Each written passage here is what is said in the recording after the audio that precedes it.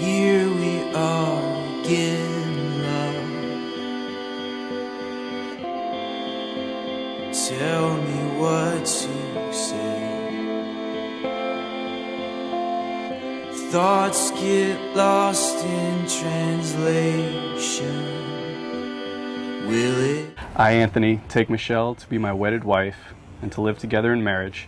I promise to love you, comfort you, honor you, keep you for better or worse, for richer or poor, in sickness and health, and forsaking all others, be faithful only to you so long as we both live. I, Michele, take Anthony to be my wedded husband and live together in marriage.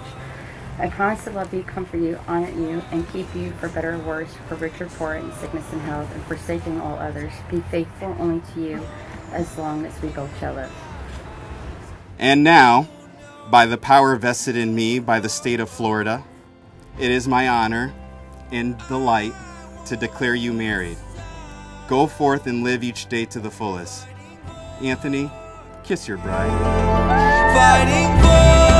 Ladies and gentlemen, it is with great pleasure I present to you Mr. and Mrs. Anthony Varico.